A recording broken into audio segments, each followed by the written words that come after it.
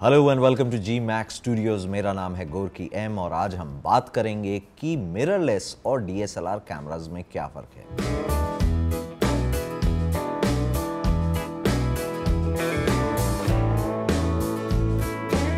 कुछ साल पहले तक डीएसएलआर कैमरास को ही सब कुछ माना जाता था, लेकिन कुछ साल पहले एक नए तरह के कैमरा ने मार्केट में एंट्री ली।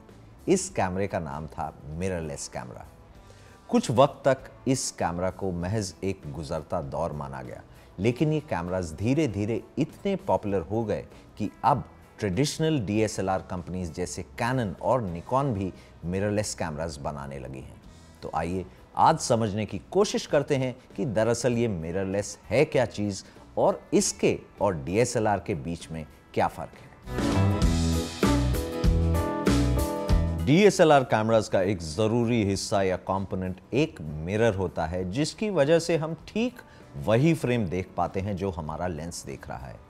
होता यूँ है कि लाइट लेंस के ज़रिए कैमरा के अंदर आती है मिरर से रिफ्लेक्ट होके ऊपर की तरफ़ जाकर पेंटा प्रिज्म से होते हुए हमारे व्यू फाइंडर में आती है और हमें वो इमेज दिखाई देती है। जब हम इमेज लेते हैं तो ये मिरर ऊपर की तरफ़ उठता है ताकि लाइट डायरेक्टली सेंसर पे जा सके और इसीलिए उस पल भर के लिए हमारा व्यू फाइंडर ब्लैकआउट हो जाता है। मिररलेस कैमराज में जैसे कि नाम से ज़ाहिर होता है मिरर नहीं होता है।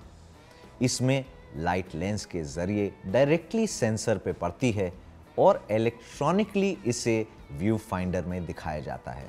इसीलिए इनके व्यू फाइंडर्स को ईवीएफ या इलेक्ट्रॉनिक व्यू फाइंडर भी कहा जाता है। आइए बात करते हैं साइज़ की। ज़ाहिर है कि मिरर और पेंटाप्रिज्म ना होने की वजह से मिररलेस कैमरा बॉडीज काफ़ी छोटी बनाई जा सकती हैं। लेकिन डीएसएलआर कंपनीज़ ने भी अब अपने एंट्री लेवल डीएसएलआर्स इतने छोटे बनाने शुरू कर दिए हैं कि इनमें और मिररलेस में ज़्यादा फ़र्क नहीं रह गया है। दूसरी बात ये कि अगर हम मिररलेस कैमरास पे प्रोफेशनल लेंसेज लगाते हैं तो डीएसएलआर और मिररलेस कैमराज में ज़्यादा फ़र्क नहीं रह जाता। अब बात करते हैं बैटरी की। मिररलेस कैमरास का साइज़ छोटा होने की वजह से उनमें बैटरीज भी छोटी होती हैं as compared to a DSLR इसकी वजह से मिररलेस कैमरास की बैटरी लाइफ बहुत कम होती है और अभी तक शायद ये मिररलेस कैमरास का सबसे बड़ा ड्रॉबैक है।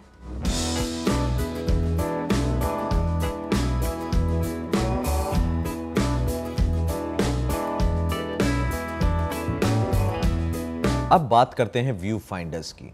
जैसा कि हम पहले डिस्कस कर चुके हैं डीएसएलआर्स में लाइट लेंस के ज़रिए आती है। मिरर से ऊपर की तरफ़ रिफ्लेक्ट होकर पेंटा प्रिज्म से होकर व्यू फाइंडर में दिखाई जाती है।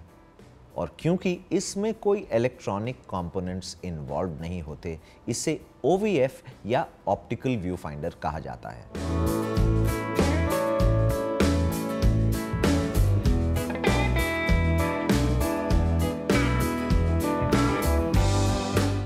दूसरी तरफ़ मिररलेस कैमराज में लाइट लेंस के ज़रिए डायरेक्टली सेंसर पे आती है और इसे इलेक्ट्रॉनिकली व्यू फाइंडर में दिखाया जाता है। इसीलिए इसे इलेक्ट्रॉनिक व्यू फाइंडर या ई e कहा जाता है।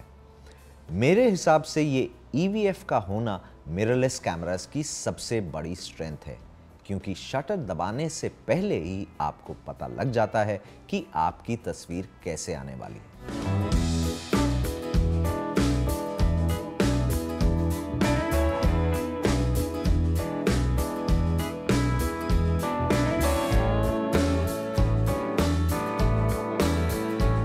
बस यूँ समझिए कि इलेक्ट्रॉनिक व्यू फाइंडर कुछ ऐसा होता है कि डीएसएलआर के एलसीडी को लेकर आपकी आँखों के सामने लगा दिया गया। आइए अब बात करते हैं ऑटो फोकस की ट्रेडिशनली डीएसएलआर्स का ऑटो फोकस मिररलेस से कहीं ज़्यादा तेज़ होता था।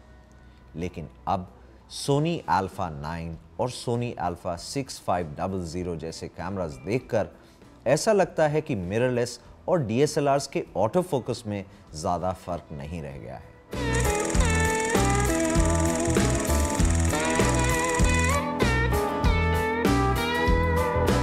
अब बात करते हैं साइलेंट शूटिंग की। डीएसएलआर में क्वाइट मोड होता ज़रूर है, जो मिरर ड्रॉप होने की आवाज़ को दबा देता है। लेकिन फिर भी थोड़ी आवाज़ होती ज़रूर है। मिररलेस कैमराज में इलेक्ट्रॉनिक शटर होने की वजह से साइलेंट मोड पॉसिबल है, जिसमें ज़रा भी आवाज़ नहीं होती।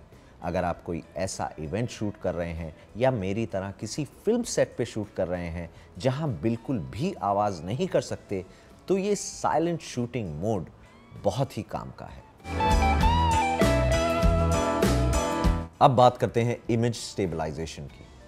इमेज स्टेबलाइजेशन या वाइब्रेशन रिडक्शन जैसे इसे निकॉन बुलाता है डीएसएलआर्स में होता ज़रूर है, मगर ये लेंस में बिल्ट इन होता है और आमतौर पर इमेज स्टेबलाइज लेंसेज काफ़ी महँगे होते हैं।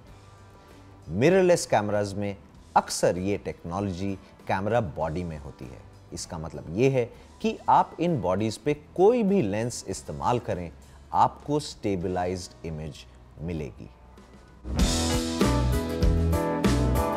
तो डीएसएलआर या मिररलेस कौन सा बेहतर है? दोनों ही टेक्नोलॉजीज़ बहुत तेज़ी से बदल रही हैं और कुछ फीचर्स जो पहले सिर्फ़ डीएसएलआर्स में मिलते थे, वो अब मिररलेस में आ गए हैं और मिररलेस के कई फीचर्स अब डीएसएलआर में आ गए हैं। आपके लिए कौन सा बेहतर है? ये जानने के लिए आपको अपनी फोटोग्राफी स्टाइल के हिसाब से एक लिस्ट बनानी होगी कि आपके लिए क्या सबसे ज़्यादा ज़रूरी है। छोटा साइज़ बैटरी लाइफ ईवीएफ या साइलेंट शटर मैं मिसाल के तौर पे दोनों ही कैमरा का इस्तेमाल करता हूँ। रोज़मर्रा की ज़िंदगी में मैं मिररलेस इस्तेमाल करता हूँ क्योंकि छोटी साइज़ होने की वजह से मैं इसे अपने बैग में डाल सकता हूँ। दिन में ई e के ज़रिए मैं वीडियो शूट कर सकता हूँ जो डीएसएलआर में पॉसिबल नहीं है। और सही अडेप्टर लगा के मैं मिररलेस बॉडी पे कोई भी लेंस इस्तेमाल कर सकता हूँ। लेकिन हाँ प्रोफेशनल और कमर्शियल फोटोग्राफी के लिए मैं अभी भी डीएसएलआर का इस्तेमाल करता हूँ, क्योंकि मेरे लेंसेज और मेरी बाकी एक्सेसरीज जैसे फ्लैश और स्टूडियो लाइट्स अभी भी डी के साथ ज़्यादा कंपैटिबल हैं। तो लोग मुझसे अक्सर ये पूछते हैं कि क्या डी डीएसएलआर कैमरास का दौर गुजर चुका है? क्या डीएसएलआर कैमरास खत्म हो जाएँगे? तो मेरा जवाब ये है कि भले ही मिररलेस कैमरा टेक्नोलॉजी आने वाले वक्त में फोटोग्राफी को बिल्कुल बदल देगी, लेकिन डीएसएलआर कैमरास भी इतनी जल्दी कहीं नहीं जाने वाले। इस वीडियो को अपने दोस्तों के साथ शेयर कीजिए, और कोई सवाल हो तो कमेंट्स में ज़रूर पूछिए, और हमारे चैनल जी मैक्स स्टूडियोज़ को सब्सक्राइब ज़रूर कीजिए। अगले वीडियो तक बाय